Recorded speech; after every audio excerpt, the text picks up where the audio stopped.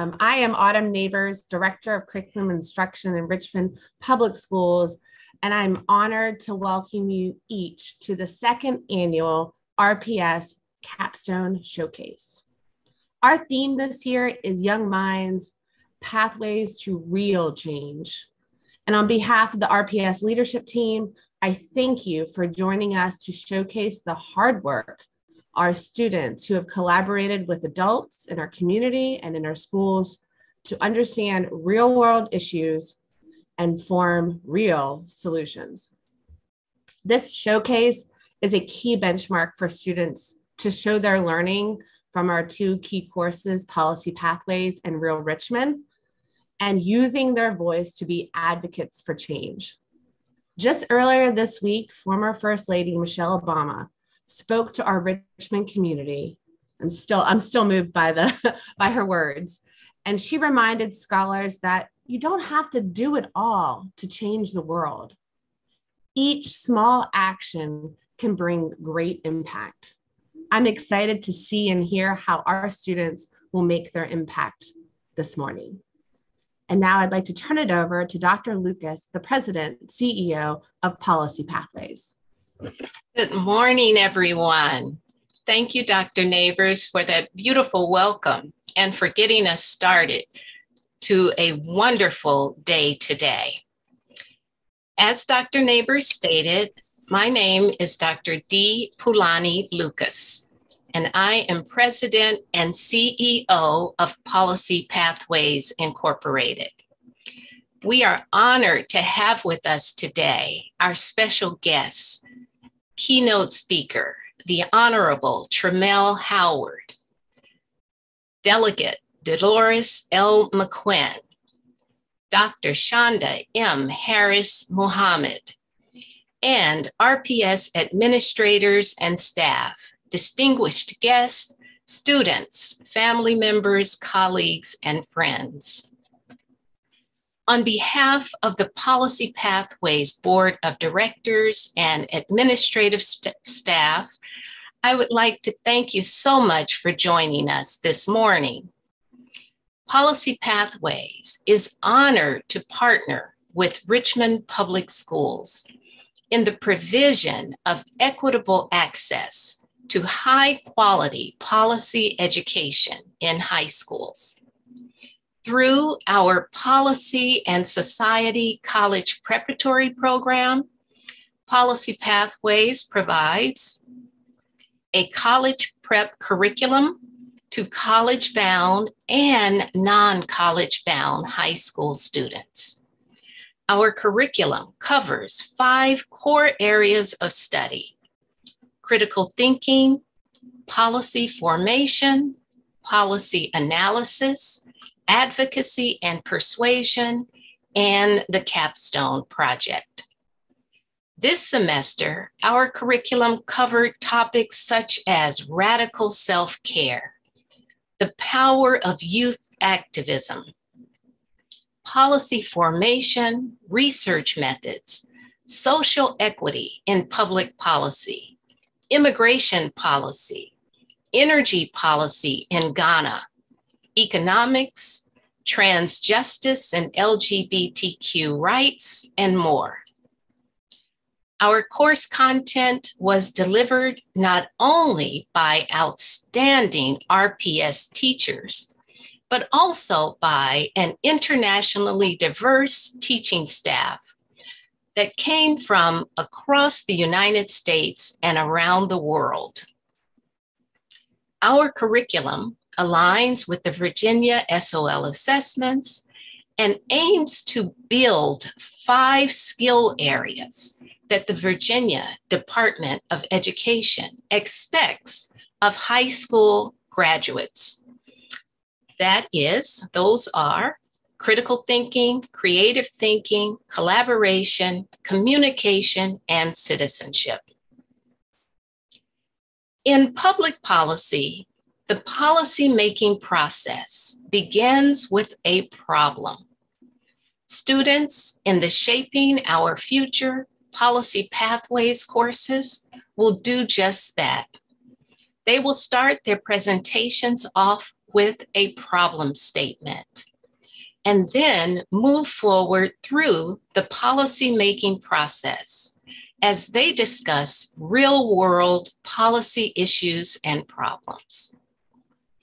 I would like to thank Superintendent Jason Kamras, Dr. Tracy Epp, Ms. Candice Vini Chaplin, Mr. Masiahu Israel, and the Shaping Our Future Policy Pathways and Real Richmond teachers, Dr. Mylandra Coleman, Mr. Darian Sneed, Ms. Caitlin Sidlarchik, Mr. Chad Ingo, and Mr. John Conroy. And we have to give a major shout out to our awesome students in the Policy Pathways and Real Richmond courses for an outstanding job this semester. We look forward to hearing from you and learning about what you have learned this term. Our sincere appreciation goes out to our capstone site partners, Marijuana Justice, Chelsea Higgs Wise, and Evan Smith, the Arthur Ashe Oral History Project at UCLA, where the students worked with Chineri Nwanye and Mr. Knox Toll and the Virginia Interscholastic Association Heritage Association. And also Dr. Nazira Balatsky of UCLA. We also want to thank our amazing lecturers and guest speakers who helped to make this semester a success. Policy Pathways is grateful for your partnership and for your commitment to RPS students. We also thank Julie Bazinski for her outstanding graphic design work. So now I would like to turn the microphone over to Dr. Shonda M. Harris Muhammad. She is a 30 year educator who serves as the Richmond School Board Chair and represents the 6th District. Good morning. Can you all hear me okay? Awesome. First of all, congratulations on a job well done. I am so excited for you on behalf of the members of the Richmond School Board and actually the entire school division. Congratulations. I know that this was a lot of work, dedicated work, a lot of time. Um, and so you chose to dedicate yourselves to this arena of policy pathways and to work with real Richmond teachers. To those two entities, thank you as well for working, working with our students and working for our students. Young people, three things that I want you to remember as you matriculate through your high school career. There are three things that I want you to always keep with you and ponder over understanding what requires change. As a part of this program, you probably discussed that change, change, change. There are three, there are two constant things change and change. I also want you to remember what is your passion? The time is now to identify that. Start small with your desires. That's number three. Former First Lady Michelle Obama spoke to that earlier this week. It's the small things. You don't have to take a big chunk of what you see in the world that needs to be addressed and what needs to be changed. But first and, and lastly, lastly, always remember this who you are and what you were built here to do. Richmond Public Schools is so proud of you and the work that you have done and I know some of your teachers personally, and they are not easy to impress. You made it this far. So you have done a great work in yourself, and the work that you've done will impact our city of Richmond and your peers. So, again, thank you, congratulations, and I look forward to your presentations. Thank you, Dr. Lucas.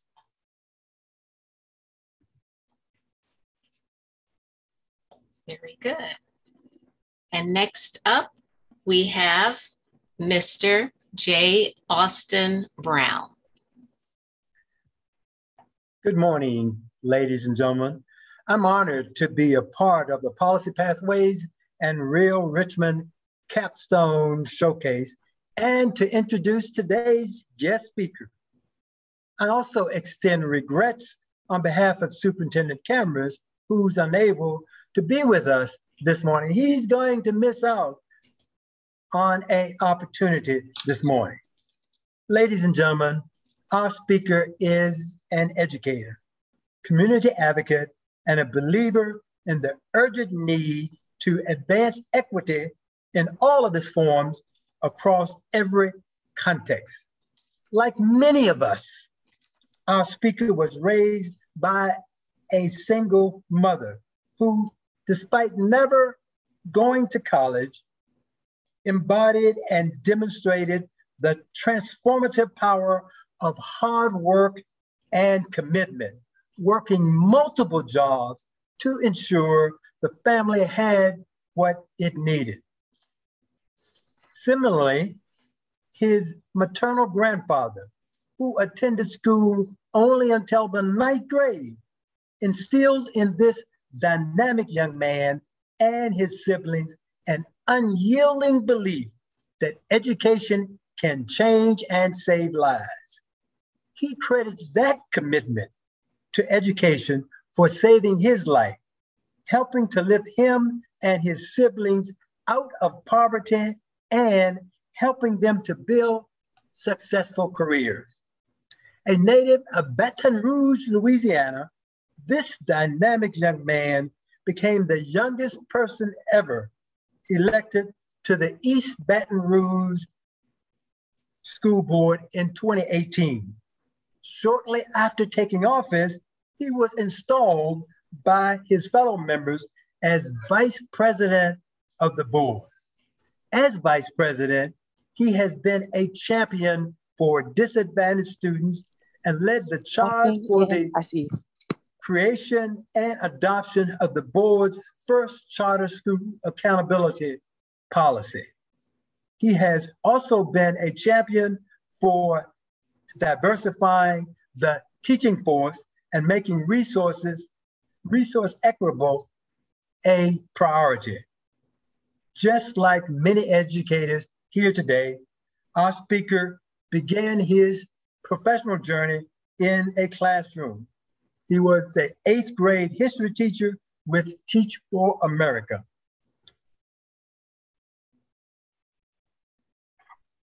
It was while working in the Law Center's student family clinic, family clinic that his vision for the work he does today was shaped.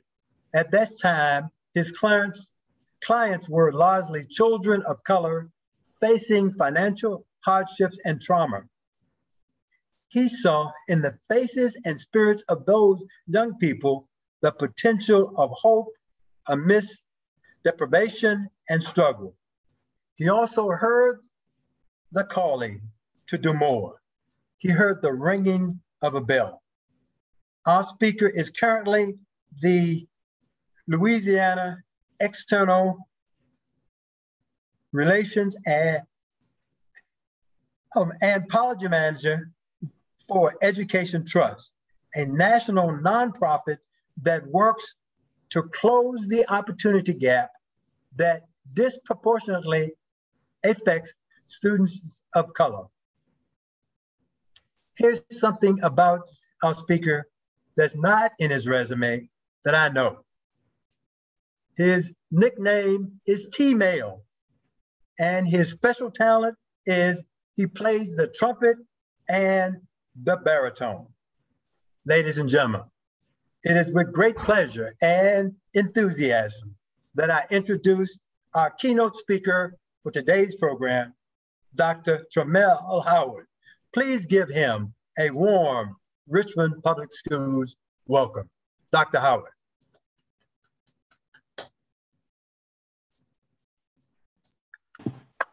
Thank you so much for that introduction, Mr. Brown. Um, and I thank you for doing that research. Uh, I didn't expect to hear my nickname um, in the middle of this conversation. But it is indeed my pleasure to be with you guys today, and I look forward to uh, hearing more from the students as they create uh, this policy change. Um, it's an honor to be uh, from Louisiana. I bring greetings from Louisiana and the Education Trust here in Louisiana. So um, I'll just get started by saying good morning. As they stated, I'm Tramelle Howard, a native of Baton Rouge, Louisiana, and I'm delighted to speak with you guys today. I currently serve as the state director for the Education Trust, a national nonprofit that advocates on behalf of students of color and students from low income backgrounds. I also serve as an East Baton Rouge Parish School Board member for District 3. I was born to a single teenage mother. Much of my life is owed to my mom and grandparents who sacrificed so much for me to be sitting here before you today as a lawyer, young as elected official, Amazon bestselling author, founder of an organization, and most of all, a forever teacher. I was honored when I received a call about speaking to young people who are looking to change the world through policy. We're living in a time where words alone are not enough. We're living in a time where action is necessary to create true change. Just a couple of weeks ago, we lost many beautiful souls to senseless gun violence, something that common sense policy could have prevented. Young people, your time is now, and we are depending on you to help us reach our full potential. Families, in order for them to be the true change agents that I know they can be, you're going to have to continue to be their village. It truly takes a village. Moms, grandmas, cousins, teachers, school leaders, aunties, uncles, support these young people as they navigate this thing called life. Continue to provide platforms for them to be seen, heard, and acknowledged. The world needs more, them more now than ever. I'm going to be very short today because you guys have worked so hard for this moment and I can't wait to see how you really are ready to change the world through policy. Barack Obama, Beyonce Knowles, Kamala Harris, Oprah Winfrey, Passion Terry, Dontrell Jones, Heaven Smith. Each of them have something in common. They've invested in themselves. Young people, now more than ever, you have to take some time to invest in yourself. The easiest way to do that is to start with education. Education was my way out. I was raised in Scotlandville, Louisiana, located in North Baton Rouge, a primarily low income community. My mom worked three jobs. My father was in and out of prison, and I saw young men get shot and killed right outside my house. I have a cousin that's serving a life sentence for murder, but I couldn't let these things affect my self investment. Education was my only way out, so I took it very serious. I was a first generation college student and the first person in my family to go to law school and graduate from law school. You might ask, how do I get to self self investment with all of this? There are three P's that I like to live by. The first P is perseverance. Perseverance. Your dreams should be so big that they scare you. A famous philosopher by the name of Kevin Gates once said, A vision without action is merely a dream. You have to work hard, and sometimes everything is not going to happen when you want it to happen. Keep working. Learn from your failures and know that failures are not final. Pick yourself up. You may make a wrong turn, but just like the GPS, reroute yourself and get back on track. The second P is people. Be careful of the people you surround yourself with. There are two types of people in the world a person who lifts you up or a person who brings you down. If every conversation is about who's sliding in your DMs and who's dating who, they don't mean you any good. Surround yourself with people that support you and encourage you to follow your dreams. Also, surround yourself with people that challenge you to be better and more. If you're the if you're the smartest person in your circle, find a new one. The third and final P is polite. We have to get back to respecting each other and being polite. Love your brother and sister. You never know who can help you reach your goals in life. We as a collective society no longer value life. If you look around us, our country is crying out for help. We're literally living in a nation where we have lost the core principle of treating people the way we want to be treated. Let's get back to that. As you go on in life, remember that every decision has a consequence. Be mindful of the decisions you are making because a consequence or consequences are sure to follow, good or bad. I was once a teacher, and I think about my former students. Many of them made great decisions that have led to some rewarding consequences, And some of them have made decisions that have completely altered their lives and not for the better. Young people, as you continue on this thing called life, be mindful of the decisions you make because, because consequences are sure to follow. You can do anything you put your mind to. Never let anyone tell you different. Be the author of your own story. Young people, you are well on your way to doing the things that will forever change the world. Keep at it. Don't give up. Failures are not final. And remember, every day above ground is a day to create the forever change that you desire. Thank you so much, Richard, for having me today. And I look forward to witnessing, witnessing you change the world. Thank you.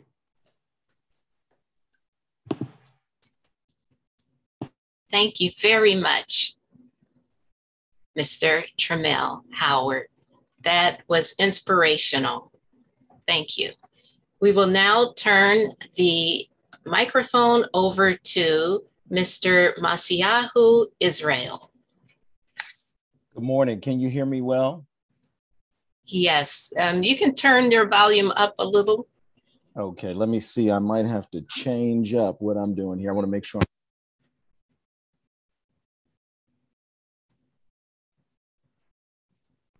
Am I any better? Yes, yes. Okay. All right. Good morning, everyone. Uh, thank you for coming. Uh, this is such a wonderful moment. I'm watching my time, making sure that we are running according to schedule. Uh, briefly, uh, I just want to tell you about the capstone day and how this came to be. Dr. Lucas uh, was a partner of mine since the Policy Pathways course was introduced to Richmond Public Schools. It came in around the same time as the Real Richmond course had been finished, and we piloted both classes in the previous year virtually that we weren't uh, quite prepared to do virtually in the beginning, thinking that we would come back in person. Um, and, and so I looked at the Policy Pathways uh, course. Uh, I saw what it was providing for students with regard to their research. And Real Richmond is rooted in that same kind of desire for students to research, uh, to use historical thinking and skills. And so um, I looked at the, the rubric, I looked at what they were doing for their project and said, how can we use some of what they're doing in policy pathways to uh, inspire some of the research process uh, for Real Richmond? And so from collaboration with uh, between myself and, and, and Dr. Lucas, we uh, decided that the capstone day would not just be for uh, policy pathways, but we also wanted to introduce our Real Richmond students to this opportunity as well. Now, one of the differences is that the Real Richmond course, uh, being new and was created right here in the city of Richmond uh, by teachers who put pen to paper, by scholars and historical locations who gave us information and resources, um, we decided that we wanted the presentations and the research for students to be wide ranging. So you'll notice for the Real Richmond course, students can really do research on anything that they desire to do research on, but we want them to think about their city. And we want them to think about the impact that their um, research will have on the city of Richmond. Uh, just to show you a little bit real quick, I'm going to take over the screen here. And if you can see, this is the uh, RPS history uh, website uh, called Grow History. And when you come here, it's Grow History RPS. And when you come over to um, uh, this side here, you'll see where it says Real Richmond History. And I just want to show you that real quick.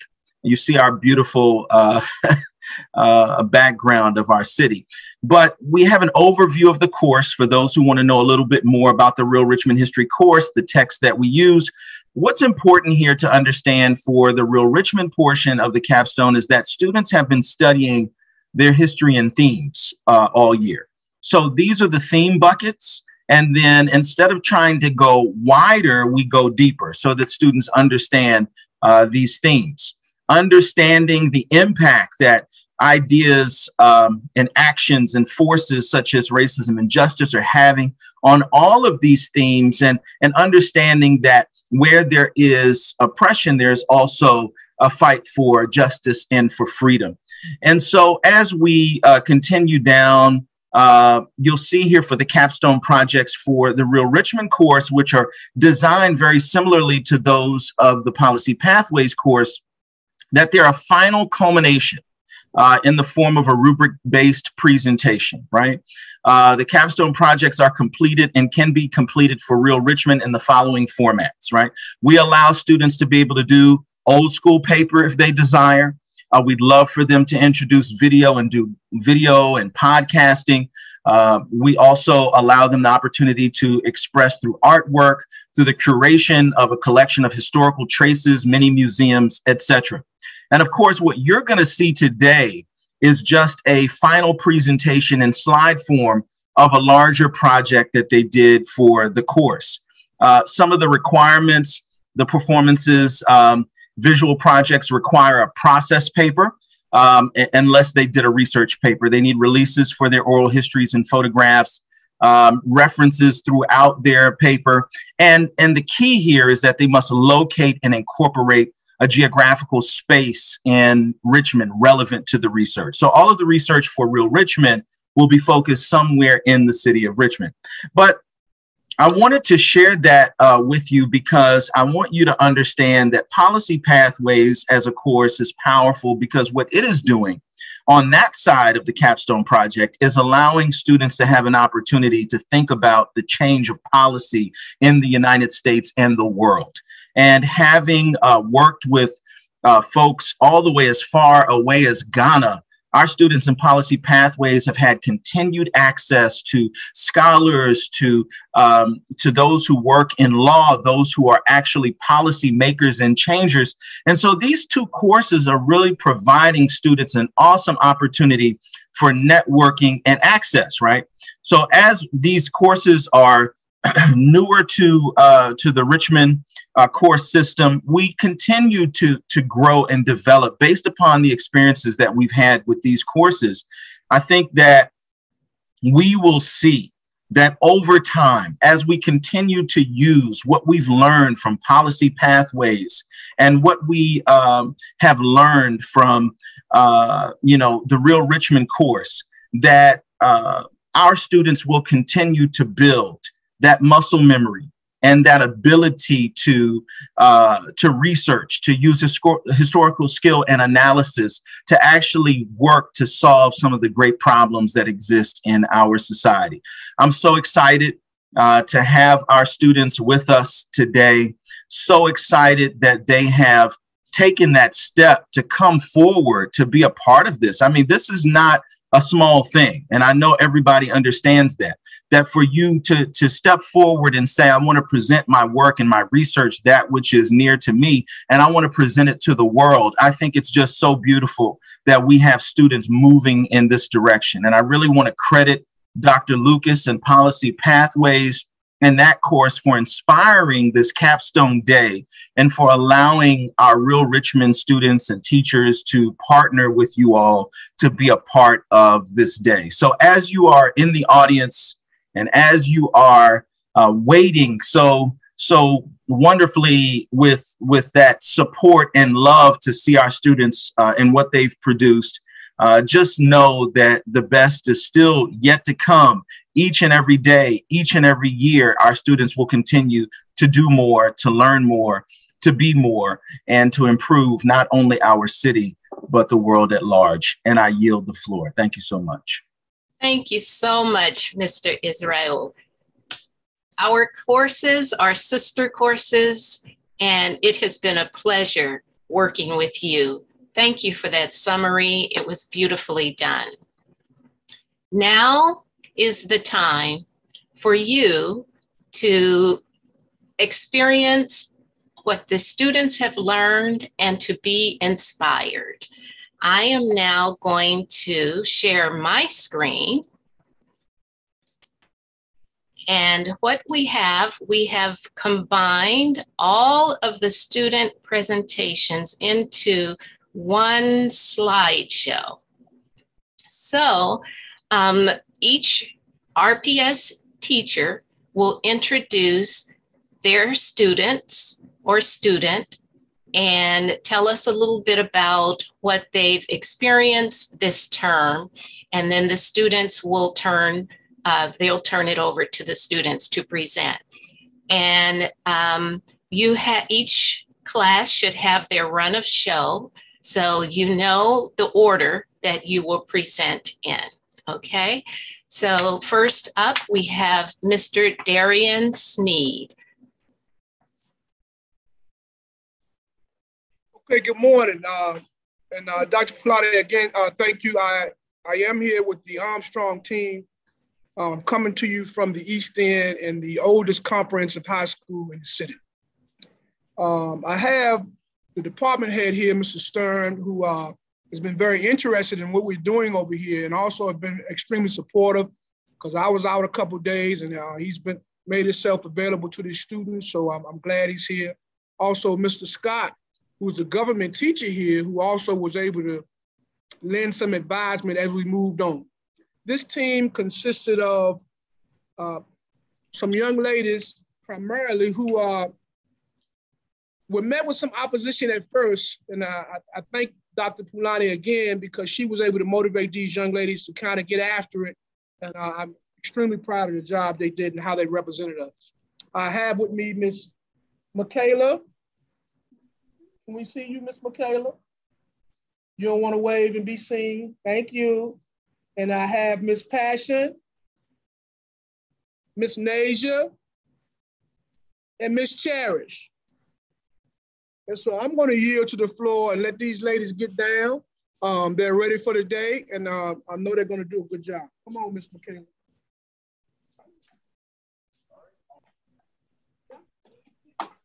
Can you guys hear me fine? Yes, we can hear you. Okay, wonderful. You remember No. you know, take a deep yes, breath. Uh, take a deep breath.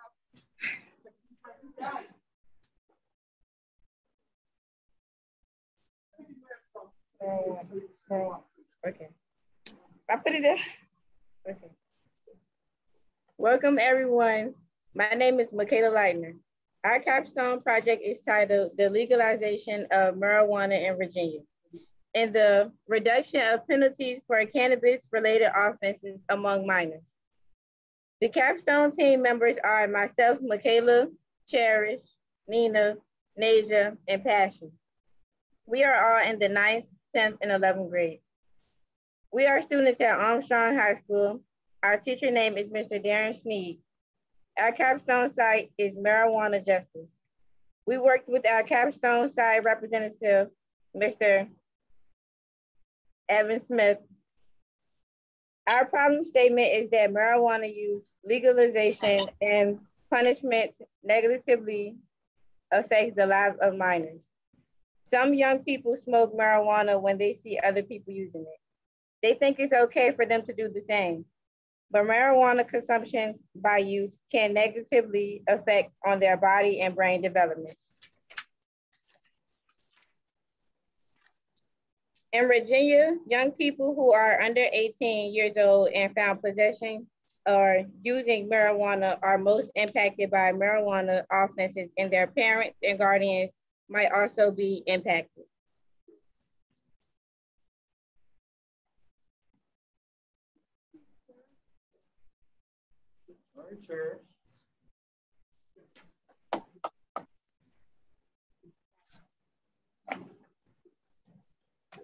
Hi, my name is Cherish. Research shows that in people that in people under under 18 years of age, marijuana dis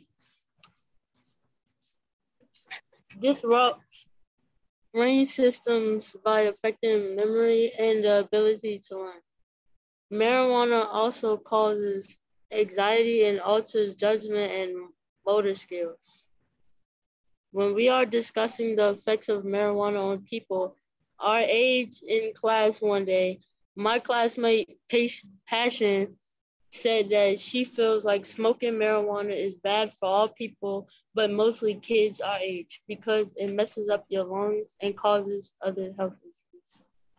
as with tobacco smoke, marijuana smoke is toxic and can harm the lungs. Someone who smokes marijuana regularly may have many of the same breathing and lung problems that tobacco smokers do, such as a daily cough and a greater risk of lung infection like pneumonia.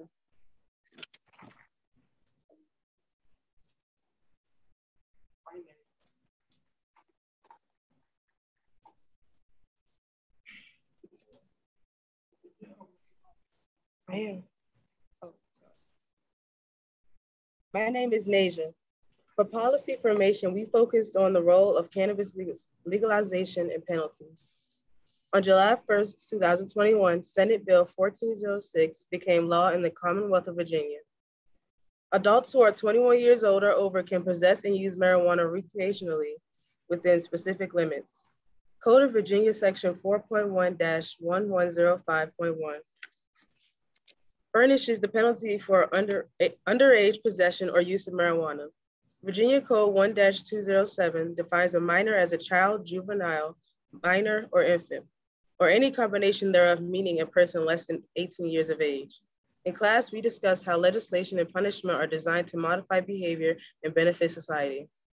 Harsher cannabis, harsher cannabis penalties for people under 18 years old aim to punish and modify their behaviors but legalization and punishment are not always effective for everyone. And social inequities and punishment are a real concern for the students of my class. During this semester, we discussed the unequal impact marijuana penalties have on people under 18 years old. Minors with a marijuana offense may be fined, required to enter a substance abuse program, or treated like a juvenile delinquent and subjected to additional punishments.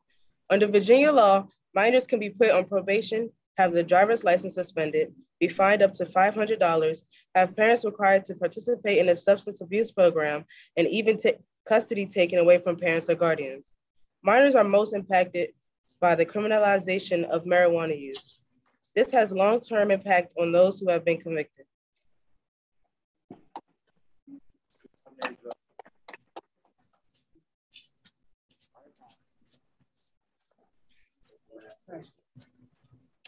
Hi, my name is Passion. Uh, with the loosening of marijuana legislation in states like Virginia for people 21 years of old and above, there is concern that the presence of cannabis dispensaries and highly visible advertisements and images can appeal to children and young people.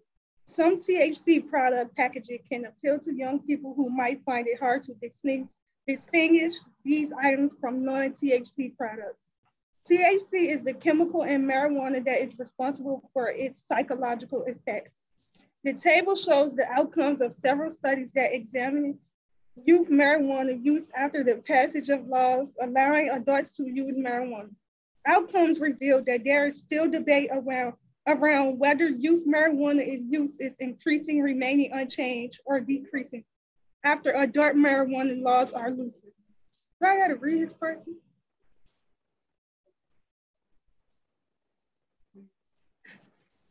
For our policy analyst, analyst section, we looked at data from the Virginia Department of Health in 2015. The Virginia Department of Health surveyed 195,000 Virginia high school students about their substance use in the Virginia Youth Survey.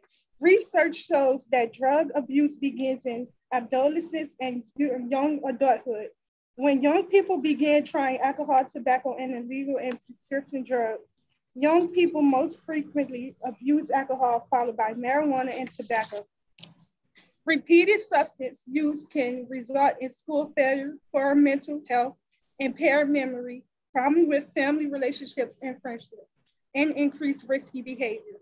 This chart shows that students most between 15 and 17 years old were most were more likely to receive as an A's and B's in school if they had not consumed alcohol, used marijuana, used prescription drugs without doc, without a doctor's prescription, or used heroin in the past 30 days of the of the students indicating that they did not use marijuana in the past 30 days, 82% earned A's and B's compared to 63% who indicated that they had used marijuana in the past 30 days.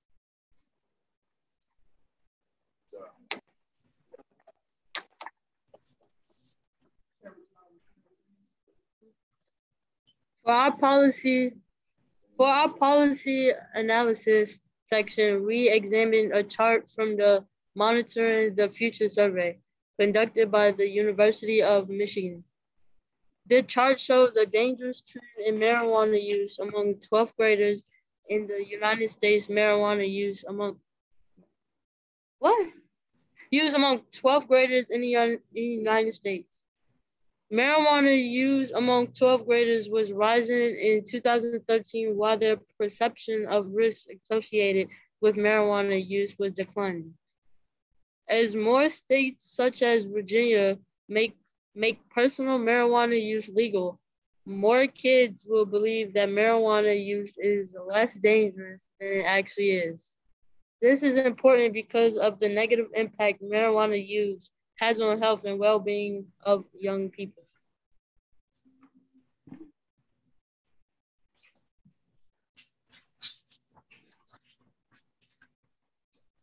The American Civil Liberties Union, ACLU, emphasizes the importance of examining racial bias in the enforcement of marijuana laws, specifically against Black and Latinx populations.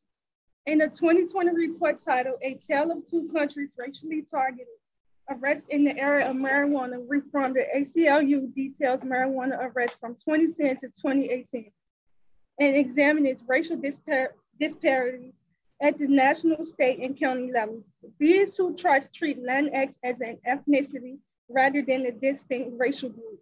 Latinx individuals are incorporated into both white and Black arrest rates. The Substance Abuse and Mental Health Services Administration conducts national annual surveys of marijuana use over respondents' lifetime over the past year and over the past month. The chart on the left examines the usage of marijuana for individuals 12 years old and older.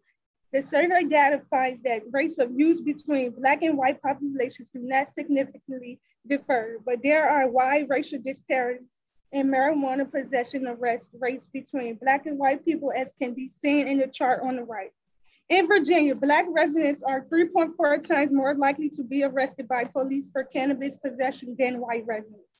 Black residents are also nearly four times more likely to be convicted than white residents, even though cannabis use is similar among both groups. Around 50% of people found in possession of marijuana in Virginia between July 1st, 2020 and January 11th, 2021. May have your attention, please? May have your attention, please? Teachers and students, we are holding the bell for a moment, so please do not move until I come across either the intercom or the phone. Do not move until I come across the intercom or the phone.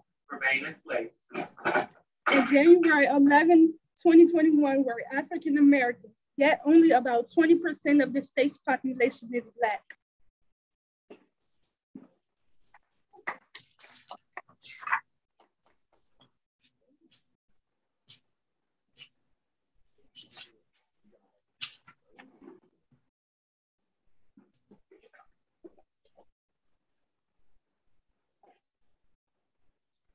We learned that there are large disparities nationwide and in Virginia between arrest rates of Black and whites for marijuana possession. Even though Black and whites use marijuana at similar rates, Blacks, particularly those under 18 years old, are being unfairly penalized and criminalized. Some penalties are important to make sure people behave, but there should be limits when penalties are harsh, unfair, and discriminatory. There is, this is a serious concern when minors and are criminalized for marijuana use or possession. In our class discussion, Nasia made a point that young people aren't really harming others, they're harming themselves. She felt like the punishments for young people should be lighter, like they are for individuals over 18 years old. Our recommendations are one, instead of criminalizing minors, give youth the support they need to become productive citizens in society, like intervention, counseling, and education. Instead of punishments, try treatment and diversion programs. Two, the Virginia, the Virginia General Assembly should coordinate and fund a statewide media campaign targeted at preventing youth marijuana use. Three, regulations should be enacted to monitor marijuana products, packaging, and labeling. Four, direct the marijuana regulatory bodies to establish regulations, restriction, cannabis, advertising, and promotion to ensure the safety of minors. Young people like us have dreams and goals of making contributions to our community and society. We do not want our dreams and lives derailed by marijuana use and possession or by unfair, harsh, and discriminatory cannabis laws and penalties. Thank you for listening to our capstone project on the legalization of marijuana in Virginia and the reduction of penalties for cannabis related offenses among minors. This concludes our presentation.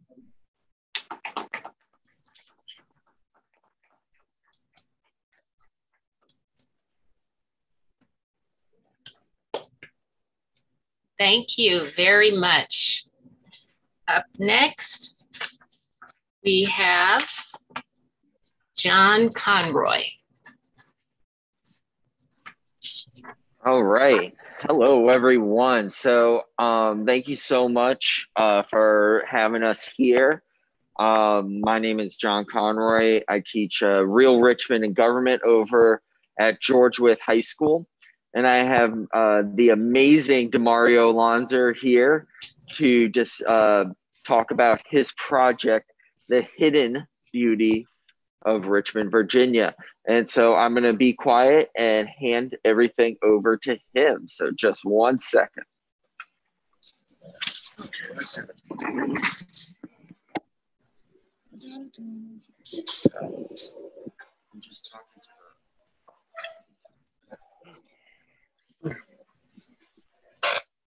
Uh, is it muted? Unmuted. Uh, hi, my name is Demario Quinto Alonzo.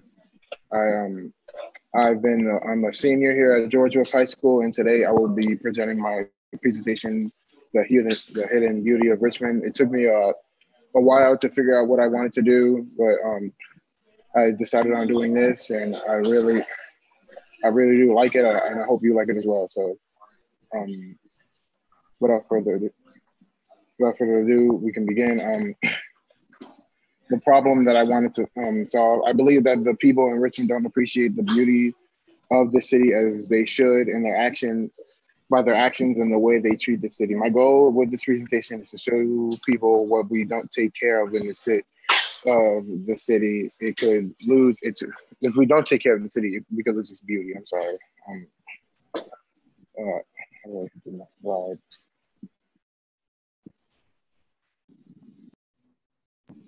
Um, the city, um, parts of um, the city is also breathtaking. Everywhere I go, I see things that look amazing to the ground, to the buildings. This, um, the city can be truly um, a spectacle at night or um, in the daytime. So these pictures I provided myself. I, I went around Richmond like every day of my life, just taking pictures, just appreciating what I what I'm seeing.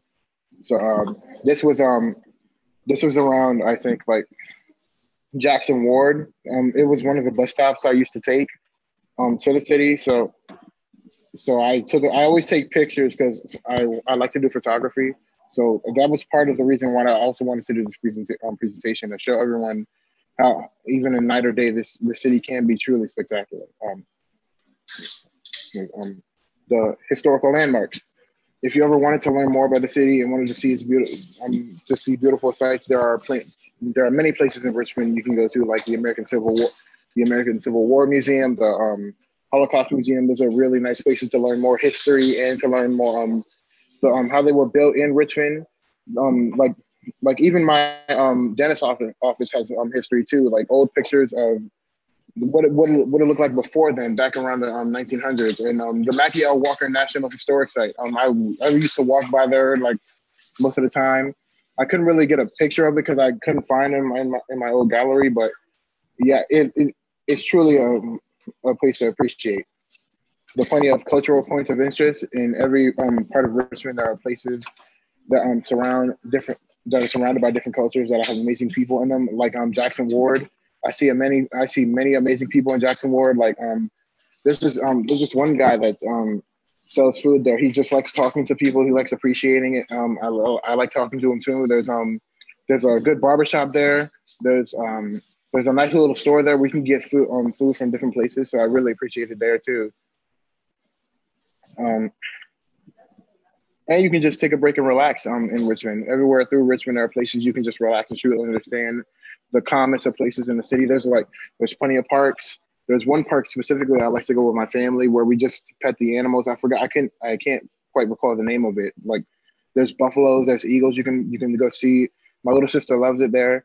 And sometimes I like to go to the park too and just just lie down and take a breather and just appreciate what I what I've been given, you know. And I like to look up in the sky and just take pictures and Richmond will even when I'm go, even when I go to college this um year, uh, many of this place many of these places will be different, but I can't always appreciate that the city is going to keep growing with more people, more and more people coming into the city. I see the more I see it grow, I see it grow. I've lived in the city all my life, and the more things, the more the more things I see, the more they change, and that's a and sometimes change is good. It's okay to adapt. That's why the. That's why I love the city so much. It adapts. It adapts. It keeps growing from from one from one small place to another, and you can see it. It's truly amazing. But there is still a big issue with this city, even though there are great things in the city. I feel that it's getting hard to recognize its beauty day by day. That makes it makes me feel like I like people don't really care about the city, and it's because of this big problem. The constant like the huge amounts of trash I see everywhere I go. I see constant pile up in the city near our schools, near the highway, near the Richmond City Raceway, near our libraries. I um even in my own yard, I wake up like sometimes I clean up my yard. I when I mow the lawn, like the next day I see trash. I see I saw people even put trash in my yard one time, and like it's like people don't. it's like an endless cycle. I just keep seeing it over and over again, and it gets and it gets annoying. But I do believe the city, just like I said, the city can adapt. It can change, and we can, if we all work together, we can just change this city into a beautiful place where it can thrive. We can keep growing like 20, 30, 50 years from now, like when I'm old and when I'm old and gray. And I just see so many people getting along on appreciating one another in the city because Richmond, Richmond is is Richmond is hard. It's it's you can appreciate it. It's it's just like we're a place where everyone can come together and truly understand what it means to be part of a growing society. Uh, that's my presentation. I hope you all appreciate it. I have to, um, I'd like to thank my teacher, Mr. Conroy, for putting me to this project. Um, he's been helping me, making sure I go to high, I graduate, making sure I, I got accepted into my college. Without him, I don't think I'd be here, like talking to you guys. So I really, I re, um, I really appreciate it if you gave him a, a little praise. You know, just uh, help my teacher. He's a he's a really good guy. He tries his best, and I know it's hard. It's hard. This this school we don't really like tell him much about everything, but he tries to make sure he tries to connect with the students, and I really appreciate that. Thank you for your time. Thank you. Thank you very much. Next up is Carlos.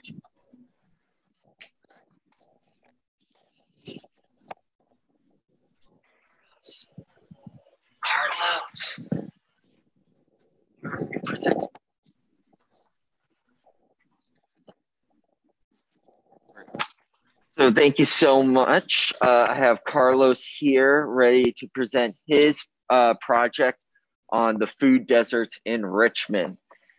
So just give him one second to jump on the screen.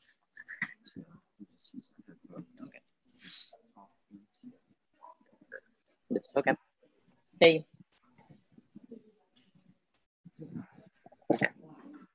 Uh, my my name is Carlos Rosales, and this is my real Richmond project, Capstone. Uh, the my main problem about um, what's my um, project about is about food deserts. Um, what would, what would be food deserts called? They're defined by the US Department of Agriculture as areas where people cannot access food affordably or nutritious. It could be many reasons like the lack of grocery stores, markets, or even healthy food providers.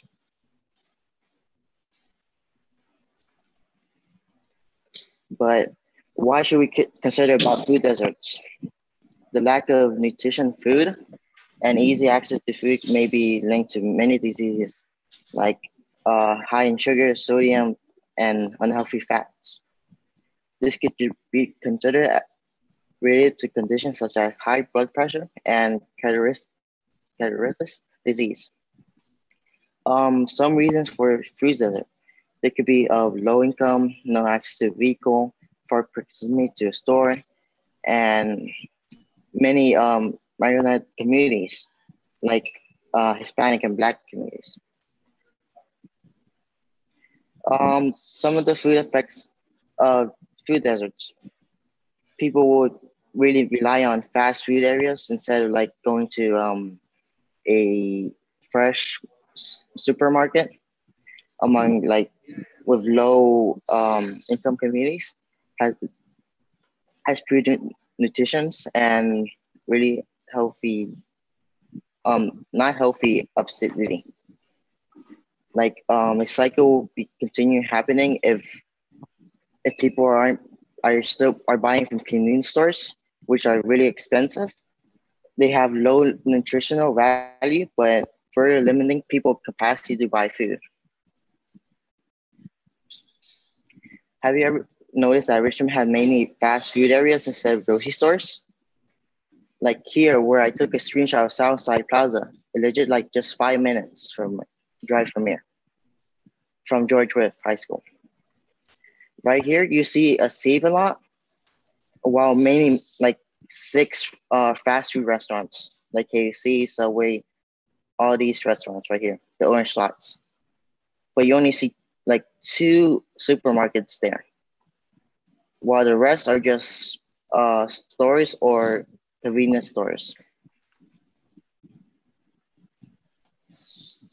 Point. These are what, what I talk about. Orange dots were fast food and red were grocery stores or convenience stores. There are many communities who live close to areas where there are no supermarkets or way to get attainable food.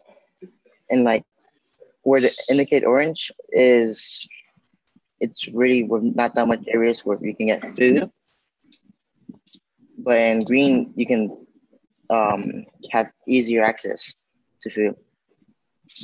Well, like southern parts of um, southern Richmond, you can see a lot of orange where a lot many people live, so they really don't have access to food. And that'll be, that's all I'm gonna And that'll be all. That's all my research I did using um, fast food as my main topic. Thank you very much, Carlos. Mm-hmm. Mr. Conroy, I'm done. Next up, we have Dr. Mylandra Coleman. Good morning. My name is Melandra Coleman, and I'm a teacher at John Marshall High School. I have had the privilege of working with seven phenomenal juniors during our policy pathway semester. I am about to turn it over to them, and I hope that you will enjoy their presentation. Our first speaker is Ms. Heaven Smith.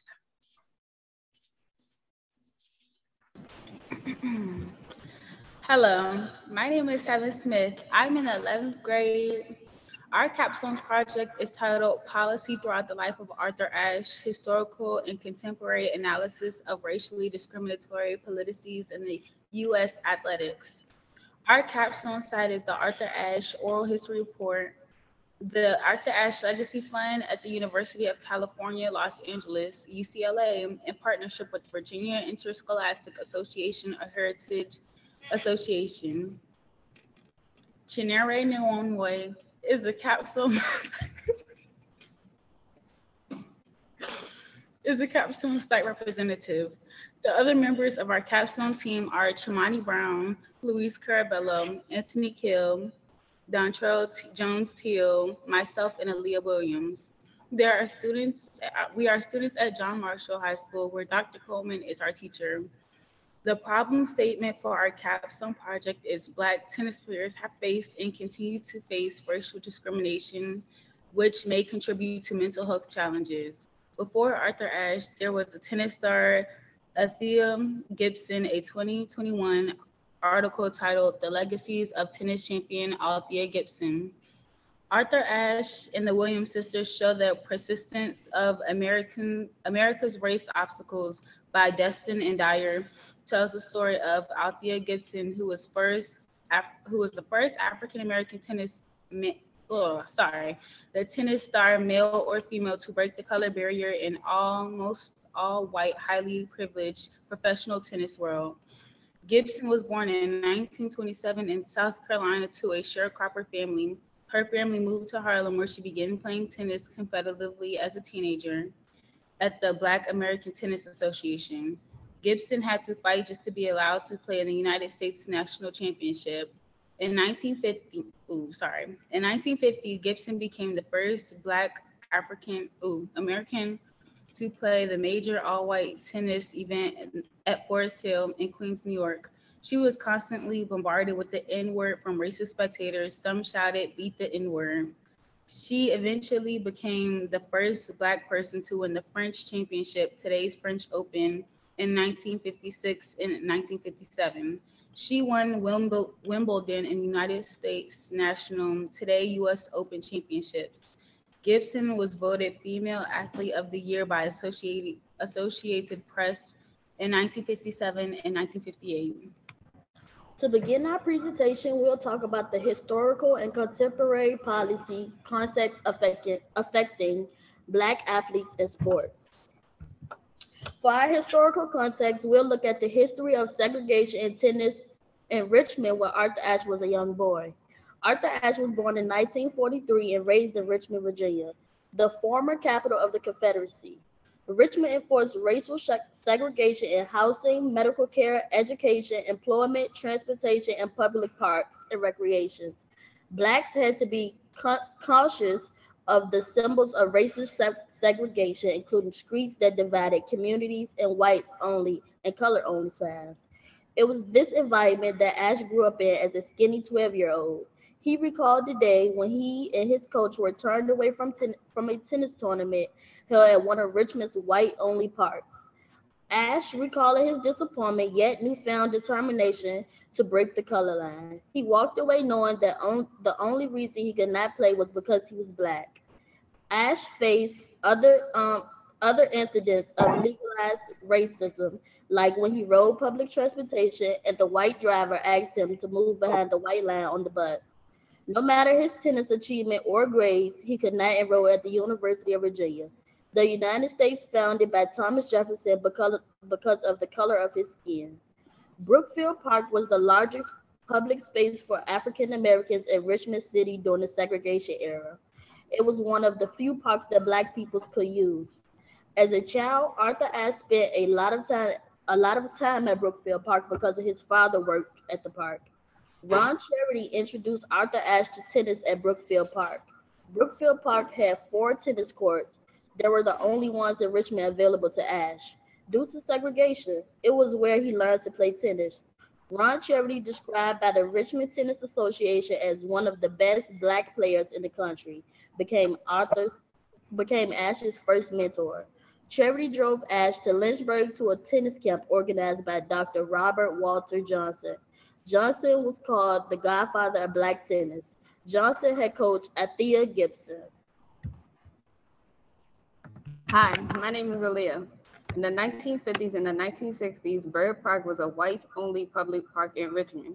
We listened to an oral history interview with Tom Chewning, a childhood friend of Ashe's. Mr. Chewning, for many years, didn't know who Arthur Ashe was because Ashe wasn't able to play at Byrd Park and tournaments in Richmond. Byrd Park hosted youth tournaments, but Ashe was often turned away as turned away as the public tennis courts were restricted to whites only. Ashe never got a chance to play at Byrd Park as a child, but he returned in 1968 as a part of the Davis Cup team.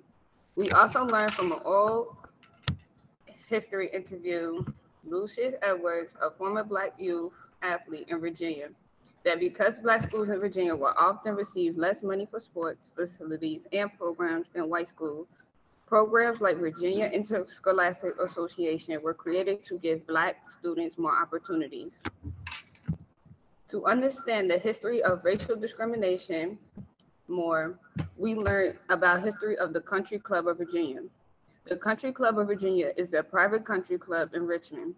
When Arthur Ashe was growing up, CCV was one of the tennis facilities that was reserved for whites. Every year, Arthur Ashe's first coach, Ron Charity, applied to participate in the City of Richmond tournament at the CCV and was never accepted. Though CCV officials have said there were no policy restriction African Americans. It wasn't until 1992 that a Black physician, John Edward Kane, and his family became the first Black members. Ultimately, despite the limited opportunities Arthur Ashe had, he became a successful tennis player, winning the U.S. Open in 1968 and Wimbledon in 1975. Motivated by his life experience, Ashe used his voice to speak up for others, including human rights, Black South Africans, and Haitian refugees, health inequalities for African American, and HIV/AIDS awareness. Today, there are more opportunities for Black tennis players. However, for our public policy topic, we will have to understand how how have the issues affecting Black tennis players today changed, and how can policy help? Today, some Black athletes continue to experience blatant racial discrimination. Despite racism, Williams sisters remain dominant in tennis. Althea Gibson serves as a role model for Serena and Venus Williams. Just as Gibson overcame obstacles to attain the highest recognition in the tennis world, so have the Venus and Serena Williams. The Williams sisters began to play tennis at a very young age in Compton, California. Their father, Richard, was, was their coach. Since late since the late 1990s, they have dominated women's tennis. Venus have won seven single Grand Slam titles and Serena 721 single titles.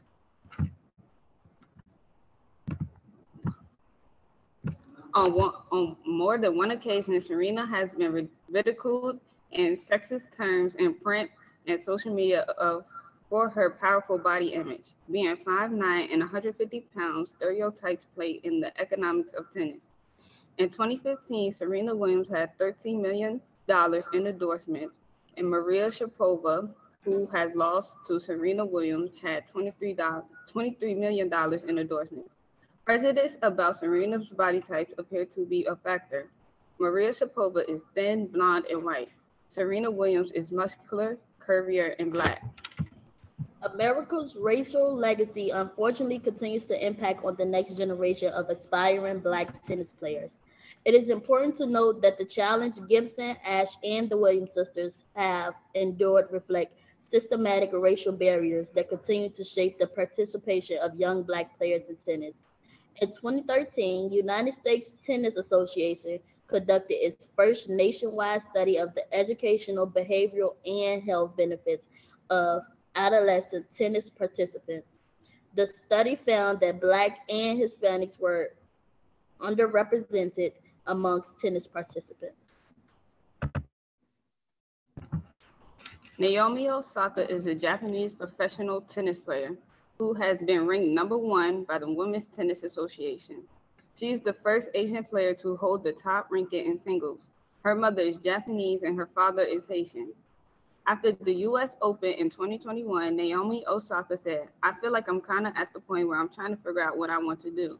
And I honestly don't know when I'm going to play my next tennis match. Sorry. I think I'm going to take a break for, from tennis for a while. Similar to Arthur Ashe, Naomi Osaka also used her voice to speak up on racial injustice and public health. Along with several other young Black athletes, Naomi put a spotlight on mental health when she made this announcement and prioritized her mental well being by withdrawing from the 2021 French Open. Research reveals that 33% of college students report struggles with mental health, while 30% of students experience mental health challenges seek mental health services. Only 10% of student athletes do so. In 2020, the NCAA hosted a summit on the mental health concerns relating to athletes of color. The National Collegiate Athletic Association, NCAA, surveyed their student athletes in 2020. Among Black student athletes, nearly one in three male athletes and one in two female athletes reported sleeping difficulties during the COVID-19 pandemic. Of male student athletes, 40% of Latino student athletes and 30% of Black student athletes have experienced sleep difficulties during the COVID-19 pandemic. That's higher than the 28% of white student athletes who had sleep difficulties. Also, they asked students about anxiety. Of male student athletes, 17% of Black student athletes and 15% of Latino student athletes reported feeling overwhelming anxiety compared to 13% of white student athletes. Of the women student athletes, 20% of the Black and Latino student athletes experience feelings of hopelessness compared to 15% of white student athletes. For feelings of depression, 14% of Black female student athletes and 13% of female of Latino female student athletes experience by, experience these feelings by comparison. 8% of white female student athletes reported depression. These results seems to show that black Black and Latino student athletes have experienced more mental health issues during the pandemic than white student athletes. Researchers interviewed nine black male football players at NCAA schools to identify issues affecting mental health among black male athletes. They had several key findings, and we'll highlight three. The first issue affecting mental health amongst black male student athletes was stigma. Some athletes fear people, including their coaches, will think less of them if they admit struggling with mental health. Another issue was toughness. Students felt because because people believe men must always be strong, it makes it difficult to ask for help. Lastly, silence was another issue. Because mental health is rarely discussed by coaches or teammates, there's no space to talk about. Now that we've shown how mental health is an issue affecting Black and Latino student athletes, we'll make our final policy recommendations. Colleges and universities should make sure Black and Latino students feel more accepted on campus. They should make sure these athletes know they are a part of the campus community. Athletic departments should encourage student student athletes to seek mental health service services before they start struggling with mental health challenges. Finally, students finally, schools and athletic departments should encourage self-care. We learned a lot about what top tennis players have gone through to succeed. Gibson, Ashe, the Williams sisters, Naomi, and Coco are our role models. We learned about their discipline, focus, drive, and determination to excel no matter the obstacles. Thank you for listening to our capstone project on policy through the life of Arthur Ashe, historical and contemporary analysis of racially discriminatory policy in U.S. athletics. We hope that you enjoyed our presentation. Thank you very much. Next up, we have Mr. Chad Engel. Hello, everybody. First, I'll say great job, everybody, so far. Richmond Public Schools is really awesome. My name is Chad Ingold. I teach um, AP US History, AP World History, and most importantly, Real Richmond at Open High School. And so, um, you know, we love Real Richmond here at Open High School, right in the middle of the city. We've had an opportunity to get out in the city We've had an opportunity to take critical research techniques and use them towards learning more about the history and culture of Richmond. And you know, at Open, we know that we allow students to see themselves in the past, their position in the present. Am I muted? Can you hear me? Our, our position in the present will become more secure, and then students can see that their position in the future is also more clear. And so today we have a student, scholar, Marcus, who won the award for Realist Richmonder here at Open and she is going to tell us about LGBTQ plus history in the city of Richmond. So I'll turn it over to Scott.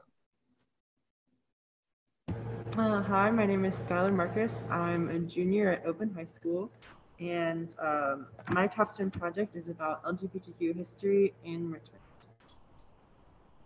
Um, so my project, um, the medium I chose to present my research was a museum exhi exhibition where I uh, put all my information into uh, posters and printed out pictures and wrote descriptions of the people and the organizations that I researched. Uh, my inspiration, or why I wanted to do this project, is because I think that LGBTQ history is something that is important to learn about, and I wanted to learn about how the city I live in became a generally supportive place for LGBTQ people. as someone who is part of the LGBTQ community and someone who has lived and has grown up in Richmond, um, I think that it's important that I learn about the history of the LGBTQ community, especially in relation to the city that I live in. Uh, so here's um, one of an example of one of my posters for my museum exhibition that I created.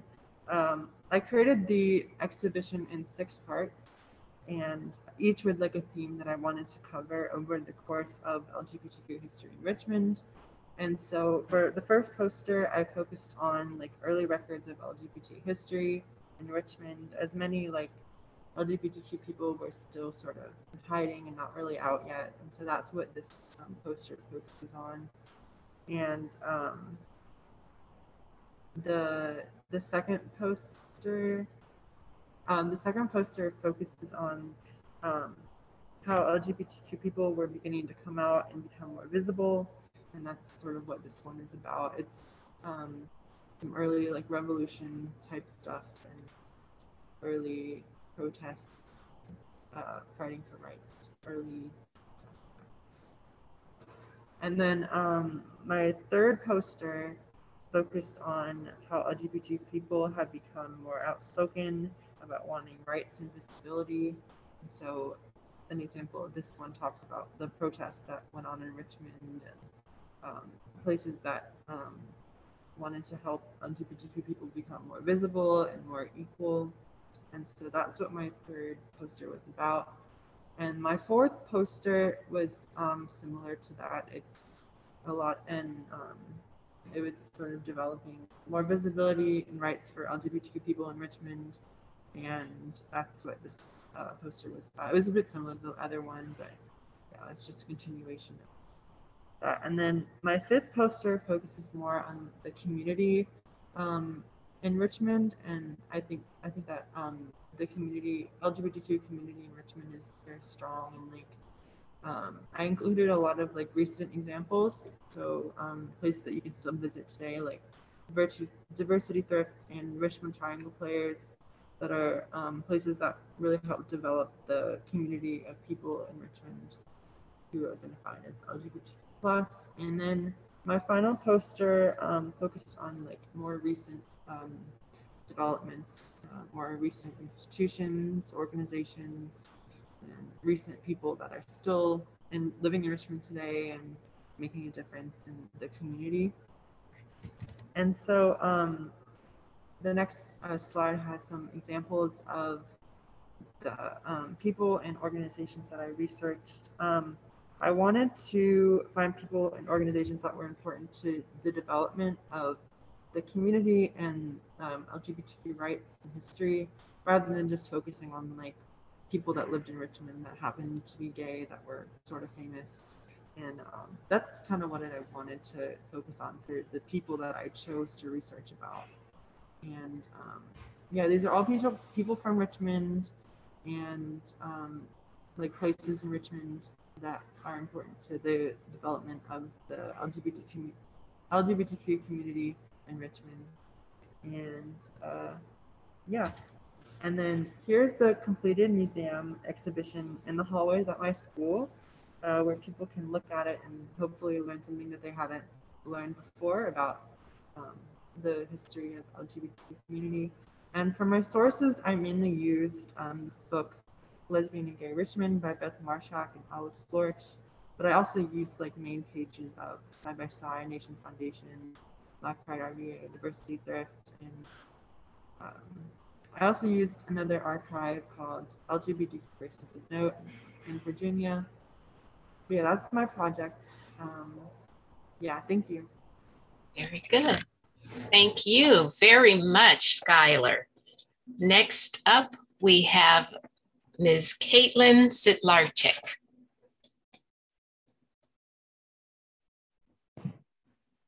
Good morning, everybody. Yeah, everybody can hear me. We're good. Um, good, good, morning. My name is Caitlin Zaglarchek. Um, I'm a history and government teacher here at Huguenot High School. Uh, throughout this semester, students and I have explored and discovered policy and government through a series of projects that led us to our capstone. I cannot be more proud of this group of students for their hard work, tenacity, and commitment in this course. The future seems bright knowing this group will be leaders in the future. I now introduce the scholars of policy pathways here at Huguenot High School.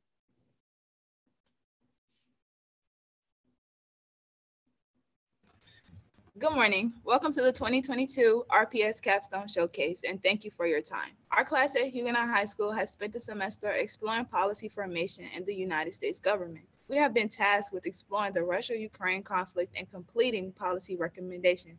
Please allow me to present our capstone project, Special Military Operation World Tour, an analysis of the Russia-Ukraine conflict and possible solutions in collaboration with Nazira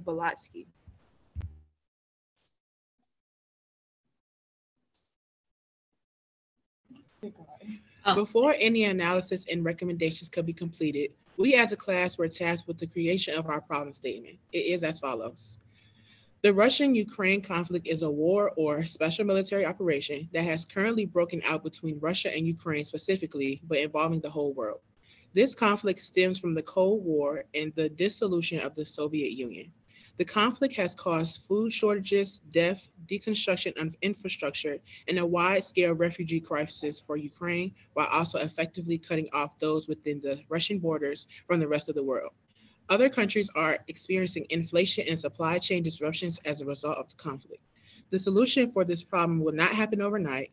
It will take compromise, collaboration, time, and understanding.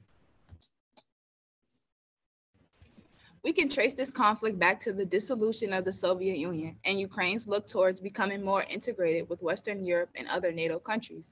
This created tension between the two countries and their allies and has led to an ongoing conflict and the invasion of Ukraine by the Russian military. The people living within the Russian and Ukraine borders are greatly being affected by this conflict, as well as others all over the globe.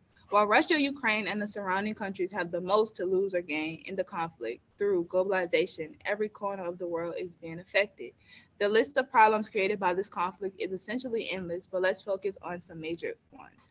The global community is experiencing inflation, supply chain crisis, and oil, oil and food supply shortages. Ukrainians are facing threats to their lives through increased military operations in the area and having to leave their homes in search of refuge in other countries. The largest and most impactful issues created by this conflict is the threat of nuclear war. All of the aforementioned problems have garnered the attention of citizens and governments worldwide. Currently and historically, there have been many laws, programs, and proposals to deal with this conflict and conflicts like it in the past. We will be exploring a few, but it is, it is most important to note this list is limited.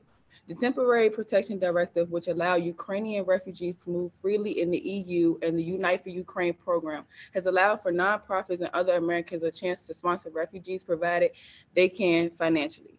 President Biden's plan wants to accept 100,000 refugees. President Biden has enacted the Lend-Lease Act as well, which has allowed the U.S. to provide military and financial aid to Ukraine and created a way for them to request aid. The World Food Program has been providing food assistance and cash supplements to fleeing Ukrainians and other facing, others facing food insecurity. Governments around the world and private companies have created economic sanctions on Russia as well. If we are looking at what kinds of policies has been enact, enacted when economic hardships has affected the entire world, historically, we can look to the New Deal and the War Powers Act. Our programmatic recommendation, which we will you will hear soon about, mimic policies like the New Deal and requires the use of the War Powers Act like it has been used in the past during conflicts.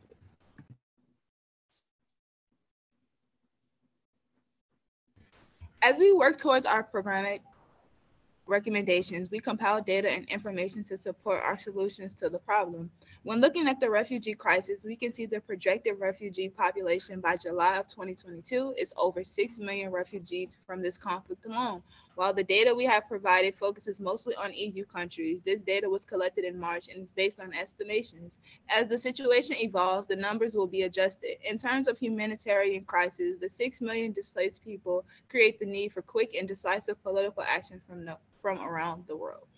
The Ukraine Democracy Defend Lend-Lease Act of 2022 was signed into action by President Joe Biden, and this, this streamlines U.S. military and financial assistance to Ukraine at close to $40 billion. Russia has been under economic sanctions for years now, but these have increased exponentially over the past few months. To keep Russia economically isolated and make conflict on their behalf difficult, governments around the world have refused to do business with Russia. Their international bank accounts have had their assets frozen, and private companies have pulled their products from Russian shelves. Because of their share in global markets, Russia, Ukraine, and the surrounding regions have seen a stall in certain food products such as barley, maize, sunflower products, and wheat. The area of the world also provides a large share of the world's oil and gas products. Because of the economic sanctions and the actual conflict, the supply of oil has gone down while the demand of an increasingly opening society post COVID shutdowns has created skyrocketing prices and the ability for gas and oil companies to price gouge their products. Peace talks and negotiations continued throughout the month of March. Although unsuccessful in the end, they have provided an outline for the request for both sides for successful future talks and negotiations. As we continue to analyze the conflict itself and the policies surrounding it, we are going to look at the impacts of these policies and the impacts because of the lack of policy. Let's start with the impacts of the policies we highlighted earlier. The Temporary Protection Directive and Unite for Ukraine program have made refugees' ability to move freely within the EU much easier, while the Unite for Ukraine program removes strain from EU countries' responsibility for taking care of refugees from conflict. The lead acts the Ukraine with upwards of $40 billion in financial assistance and weapons aid and the like.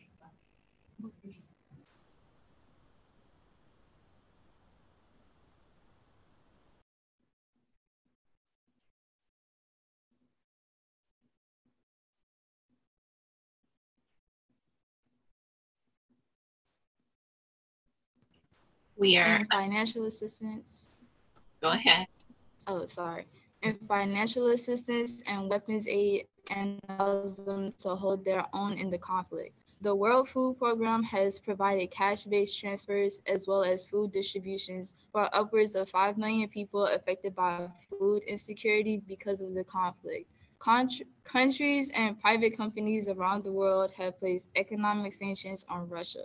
Russian oligarchs and the Russian government's access to their funds and their ability to easily move within the EU has effectively been cut off. While this has affected Russia's abilities in the conflict, Russia itself has been exports of than 200 products and blocked investors in China. Without, oh,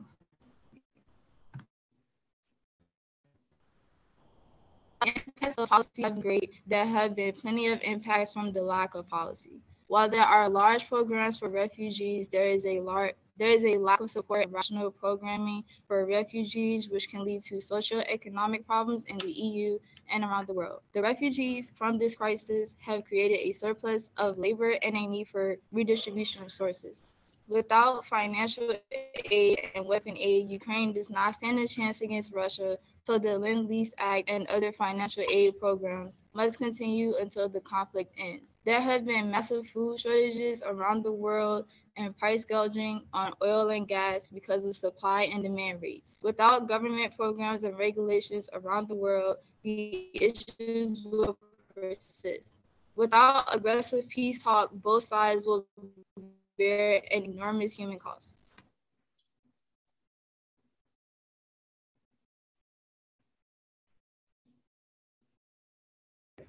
As a class, we have created three possible policy recommendations to help relieve some of the stress of the conflict and hopefully lead to future solutions.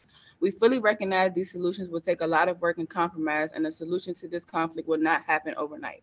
We do believe, though, that our recommendations are valuable in the long term, providing government and citizen cooperation in the United States. Our first recommendation is the expansion of the Unite for Ukraine program. We believe the United States has a responsibility as a world leader to set an example. We should be accepting 500,000 to 1 million refugees in need from Ukraine. Surrounding countries that may see conflict in the future and those seeking asylum from Russia over the next two years. Job and home displacement will be secured through other programs created to lessen the impact of the Russia-Ukraine conflict and to provide livelihood for those displaced. Our second recommendation is to make sure economic sanction, sanctions on Russia are continued. Gas imports from Russia should continue to be banned and those phasing out of gas imports from Russia should continue the process. While this may cause initial impacts to inflation and gas prices, it will encourage companies to look towards options that are less reliant on gas and oil and in the long run can create jobs. Russia's central bank assets should continue to be frozen and continue US, EU, and UK sanctions on Ru- Russian oligarchs. The United States should use the War Powers Act to create other opportunities for the a thousand companies that have suspended trade to make other products available that we would otherwise be getting from Russia. Part of this plan should be to provide incentive payments for companies to hire, train, and recruit refugees from the conflict.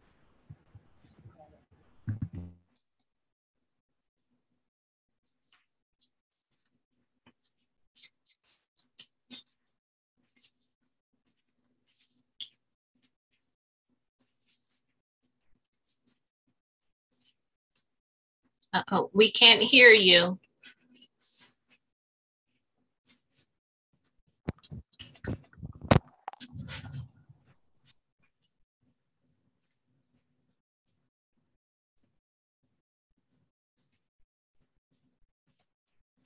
Oh, hold on one second. We're just having some technical difficulties. Okay.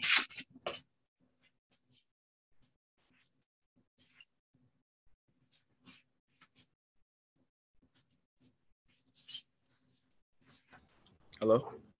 Yes. Our third and final recommendation is to create conditions and policies in which the United States can move their reliance on imports, specifically those that come from Russia and produce those in the United States. First, there will be presidential inaction of the War Powers Act to boost production of eco-friendly products and cars to reduce reliance on oil and gas. Priority jobs and home placement should be given to refugees from the conflict. In the end, less reliance on oil and gas products and cars help issues surrounding the rise in gas prices created by inflation and price gouging from oil companies. It also has the added benefit of reducing environmental impact.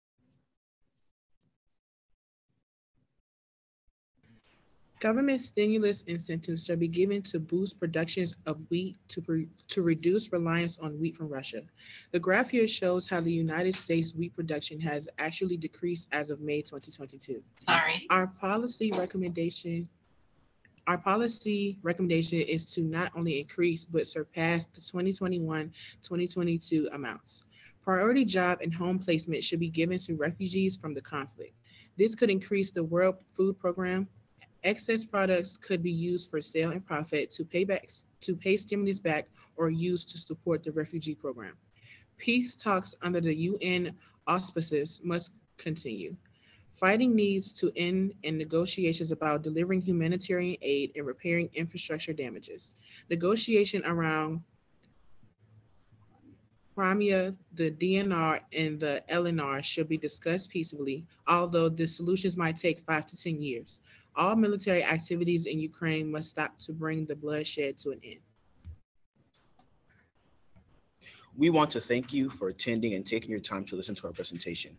We would like to thank Policies and Pathways, Dr. Lupani Lucas, Ms. Christian Kent, and Dr. Nazira Boleski for their continued support and our success in this course. We hope the conflict between Russia and Ukraine comes to a peaceful and sooner rather than later. And look forward to our ability to impact policies in the future based on the skills we learned in this course. Thank you.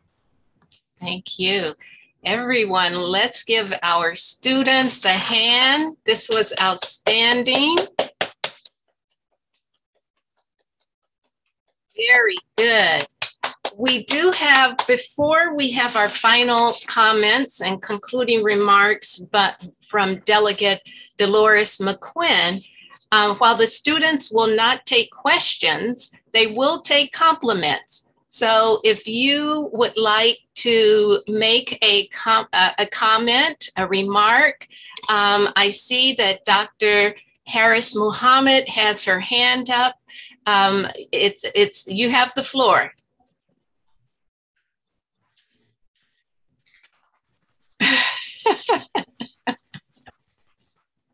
You all were wonderful. I'm so proud of you. Oh my gosh. So, since we can't answer questions, which is fine, um, I would like to have some follow up with you all, maybe during my town hall meeting. I'm going to possibly connect with Dr. Lucas. I think the entire city of Richmond needs to see your performance and you should be able to speak to the work more in depth, what you have done and your passion. So, this is what I saw today I saw future policymakers, I saw future attorneys, I saw future healthcare workers, I saw future educators. Um, even though that field doesn't pay a whole lot of money, I'm just saying, but it's about the passion. Um, I saw a lot of different things today, this morning, that I'm just very honored to have been a part of this. You all have had wonderful, wonderful teachers and leaders. And I just have to give a personal shout out, just a personal shout out to Open High School, because I believe Chad taught my daughter. And um, just so, look, I had to get the tissue, I had to get the facial tissue. I'm sorry. I, I'm just, you all are just awesome. And I'm so proud of you. And never let anyone tell you that you don't have have what it takes to be successful. Remain connected to each other, even though you're in different high schools. You never know the space or the place that you're going to be in together. So don't let the name of your high school separate you and your success together. We're one Richmond, we're one Richmond Public Schools. And so I'm just overwhelmed with joy just to see the magnificent work that you've done. And I know that was long winded, but I'm so proud of you. My heart is full right now. And lastly, you all have created your first master thesis, right? This is what you've done. And so take this work you, you really have. I see Dr. Coleman going, Mm-mm-mm. we know, me, Dr. Lucas, Dr. Autumn Neighbors, Dr. Coleman, we know about that work. And so you've just started. You this is your master thesis. Take it and expand it and complete your doctorate. You can do that. I'm so proud of you. Okay, one more time. Wait a minute. Very good. And if you would like to make a comment, just um, raise your hand in the Zoom room. Next up, we have Ms. Chineri and Wanye. Thank you so, so much, Dr. Lucas. I mean, to it, it, it's difficult to even put into words how overwhelmingly proud I am of all of you um, I had the opportunity to work with the students at John Marshall High School. And, you know, when you're a capstone representative, you see all of the work week by week that goes into building this project. And, and you guys have done such an incredible job. I just, I, I'm going to keep myself from becoming emotional, but, but I'm just so inspired as a um, as a current policy student in a master's program i'm inspired by the work you guys are doing because um, if you guys are doing it, it, it shows that there's work for me to be be doing as well. And so I am just really excited to see how this launches whatever it is that you guys are going to be doing in the future for all of you. Um, and and I just hope that you know to be proud of yourselves as well. So thank you, thank you for just allowing me to to hear your presentations this morning. Dr. Neighbors, do you have any thoughts? I always have lots of thoughts. um, what really what really just brings me joy and you know i have to not reach for the tissues is is that this this showcase is not just you know, from people that will always love you and be proud of you because you're part of our RPS community. But just hearing the words um, from across our country of people that have been working with you and the impact you're having, not just on our city, which is important, our community, but the impact that you're having with your, your research um, across um, wherever this YouTube reaches. And so that is powerful.